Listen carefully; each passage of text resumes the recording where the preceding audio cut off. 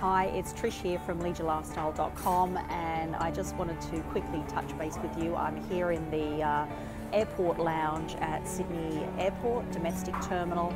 Uh, I'm about to hop onto a flight and head on down to Tasmania for a week long break, which is lovely, uh, just to spend time with my family.